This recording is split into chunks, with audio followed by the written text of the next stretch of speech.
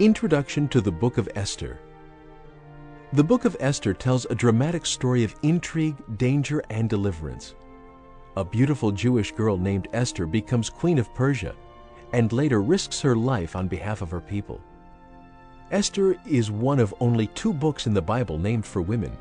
The other is the book of Ruth. We don't know who wrote this true story, which is about the people of Israel while they were living in Persia. And the name of God is not mentioned in the book.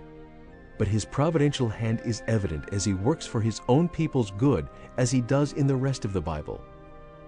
The setting is the Persian Empire covering a 10-year period from 483 to 473 BC.